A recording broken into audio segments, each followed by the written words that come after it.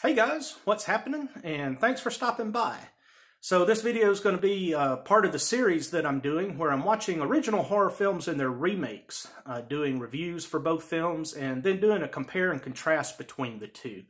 Uh, this is the follow-up video uh, for my previous review of the French film Inside, uh, which came out in 2007. Uh, if you haven't seen that review yet, please check it out. I'll put a link to it in one of the end cards at the end of this video for you. Uh, but anyway, this is going to be for uh, the American remake, which is also entitled uh, Inside, and it came out in 2016.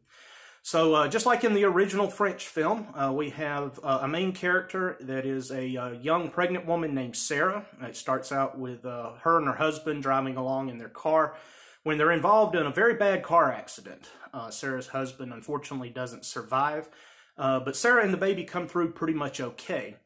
And uh, the main uh, action in the film takes place uh, the night before her due date. Uh, Sarah's planning on uh, spending a quiet evening alone and then uh, going to the hospital the next morning. someone's going to drive her and she's going to have the baby delivered.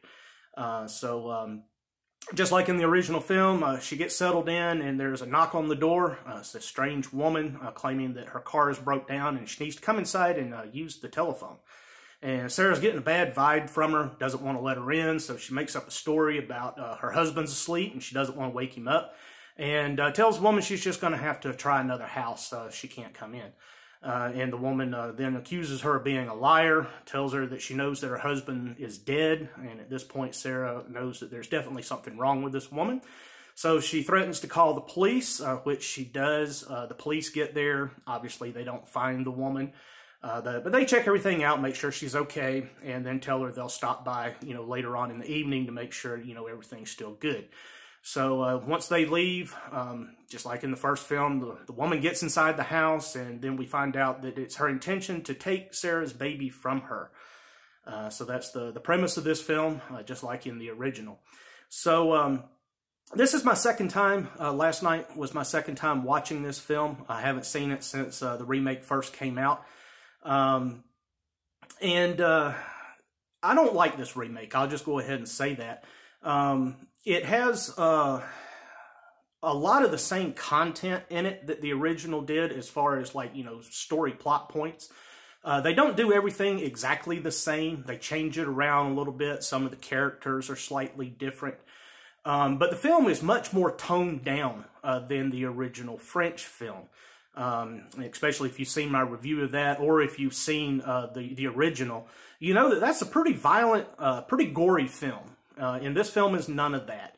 Um, in this version, uh, Sarah is a little bit more likable than she was in the original film. You know, when the original film started out, uh, Sarah was pretty much in just a bad mood. Uh, she was going through, you know, still had some guilt, I guess, because of the fact that you know, somebody else died in the car accident, that kind of thing. Uh, and none of that is apparent uh, in this film uh, that I got out of it anyway. Um, and then when the woman first breaks into the house, um, it's it's done uh, very similar to the way that it happened in the first film.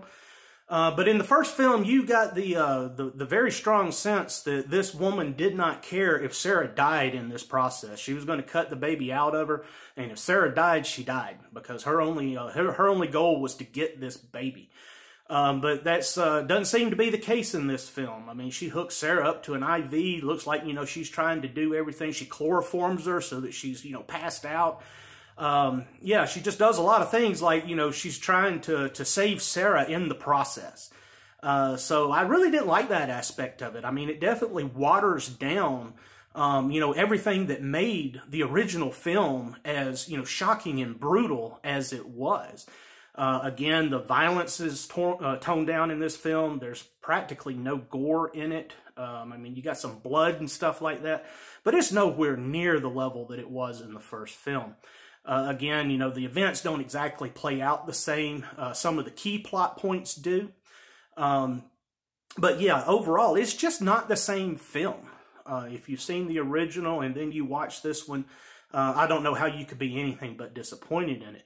Now, one thing I will say about it, though, is um, it's, uh, it, it's a very well made film. I mean, it, it, looks really good. I mean, the acting is is decent. Um, you know, about what you'd expect in a film like this, or you know, in any horror film, really.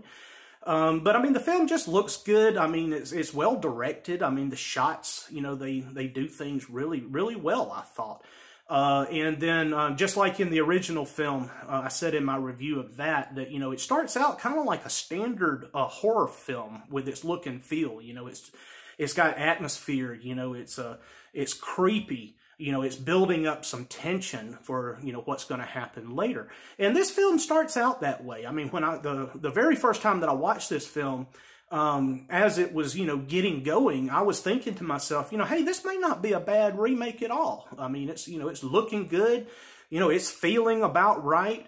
Um, but then, you know, once it, once it gets to the, you know, the good stuff, uh, it's just all watered down. Uh, it never gets any real tension in it. Um, especially, and I, and I, and I say that with the bias that I've seen the original film. So I guess the, the point that I'm going to make here with this remake is, if this was not a remake, if there had never been an original Inside and this was the movie that, you know, we were going to have, I probably would have thought it was an above average but not great horror film. Because uh, it's, uh, it's definitely not worse than, you know, a lot of the stuff that we get. Um, so, I mean, it, it really just wasn't that bad. But having uh, an original film to compare it to, it was like, well, no, that was much better done in the original film. That was much better done in the original film. Uh, they completely miss this, uh, you know, um, when you have the original to compare it to. It's just nowhere near the same level of tension um, and, and shock value that the original film had. Um, and then the ending, and I'm gonna I'm gonna spoil the ending a little bit later. Uh, I'm not to do that for, for you guys that uh, don't want to hear the spoilers. Um, but I'm to say that this one has a, a typical uh, Hollywood happy ending. Um, there's uh, it seems like more modern horror films tend to end on these happy notes um, than they used to in the past. Maybe I'm a little biased because I grew up with films, you know, uh, from the 70s and 80s uh, where they didn't always have the happiest of endings. I mean, you know, horror films were not supposed to be enjoyable, um, you know, from a mental perspective, you know, from what actually happened. If you thought about that happening in real life, you know, they were supposed to be depressing. They were supposed to, to have an impact on you psychologically. And it, it, seems to me that a lot of modern modern horror films don't do that, or at least not as much as they used to. I mean, there's always exceptions. Uh, you know, you can't just summarize and generalize horror uh, for any decade, really, because you have exceptions, you know, both ways, uh, no matter the time period. Um, but yeah, it does have a, a, a very uh, droll ending as far as I'm concerned. So um, yeah, that's basically my my review of this film. I don't like it. Um, I don't like it at all, really, and uh, you won't get the full impact why until you uh, get further along when I do the spoilers. But if you don't want to hear though, that that's fine. Uh, so anyway, I'm going to give this um, this remake a solid thumbs down. Uh, I'm not going to give it two thumbs down because it does have some redeeming qualities. Um, if you look at it from the perspective of a standalone film. Um, but because it is a remake of an original, I mean, there is a bar that has been set. Uh, the original is one of my favorite French films of all time. And compared to that, this is an utter failure of a remake. Uh, so, but I'm going, I'm to, you know, the, the redeeming qualities that it does have, I think, are enough uh, for me not to completely trash it. Um, but, uh, but yeah, I'm still going to give it a solid thumbs down. And obviously, I prefer the original to the remake. Uh, so there you have it. Um, if you like this video, um, let me know by clicking that like down below. And uh, if you uh, want to subscribe to the channel, click that subscribe button. That way you'll see all the other reviews I have uploaded. And if you click the bell, no, uh, YouTube will notify you every time I upload a new review. So thanks for watching, guys. Uh, if you stick around any longer, I am going to spoil the ending. So uh, here we go. Three, two, one yeah, so like I said, this film, it, it really did follow um, the idea of the first film up until the ending. And then it just goes off on a completely different different um, tangent, I guess.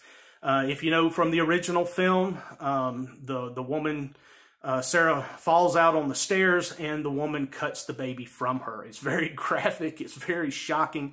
Uh, and Sarah obviously doesn't survive it.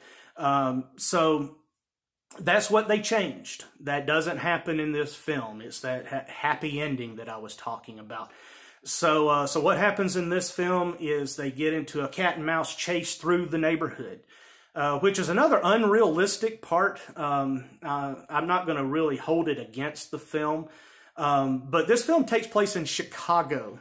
Uh, Chicago is a very cold place uh, in the wintertime. They don't call it the Windy City for nothing. I mean, it is brutally cold in Chicago in the wintertime, which is when this film takes place. And not only is there no snow on the ground, it's actually just raining outside. Uh, and they run into the backyard of one of the neighboring houses and end up in a pool that has been covered by a tarp. And the fact that the pool's not frozen solid is just unrealistic for the time of year and the place on the planet that this film takes place. But like I said, I'm not gonna I'm not gonna hold that against the film. Uh, you could take that for whatever you want. Uh, but anyway, long story short, they both end up in this pool. Um, they cut it with a, uh, a scalpel and uh, Sarah falls in, or she does that, to, I guess, to escape the woman, and the woman plunges in after her. And um, long story short, the villain, the woman that has been trying to cut this baby out of Sarah, the entire film turns into a hero and saves Sarah and thus the baby from drowning, while in the process sacrificing herself to do it. So we get this happy ending where Sarah's okay, the baby's okay, and the villain dies. But the villain dies a hero, and that's just bullshit. It is absolute, total bullshit. I don't buy it. I don't accept it. And that is the reason that I just absolutely do not like this remake. Uh, they took everything that was in the original film that made that film what it was and just watered it down, turned it around, twisted it, mangled it, and come out with this remake that bears no resemblance whatsoever to the original film. So there you go. That is uh, my true thoughts on this remake. I'm still only going to give it a solid thumbs down because, like I said, it does. If if you take it away from the fact that it is a remake and that we have an original to compare it to, minus this ending, it would have been a decent horror film. But uh, because of that, they, you know, it is a remake, and uh, we've got that original that uh, that we're comparing it to. This this remake is just a total failure, in my opinion, and it's probably a, a, an opinion that any reasonable person would have that is a fan of the original. So anyway, again, guys um, you know, help me out. Click that like, subscribe, click the notification bell, all that good stuff. And as always, thanks for watching. And until next time, we'll see you.